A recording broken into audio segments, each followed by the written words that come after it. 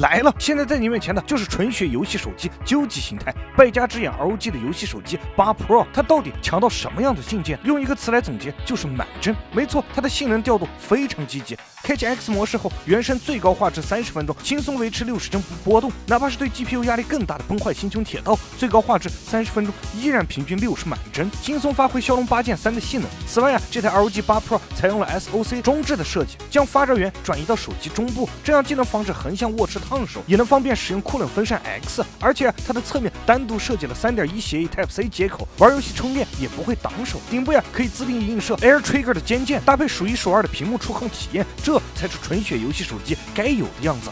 另外啊，这台 o g 游戏手机还有一些不错的改良，比如取消了之前上下边框的屏幕设计，大幅提升了屏占比，并配有 IP68 防水，索尼 MX890 主摄相机，背部的光显矩阵搭配 AG 磨砂质感贝壳，可以说是既帅气又不失手感。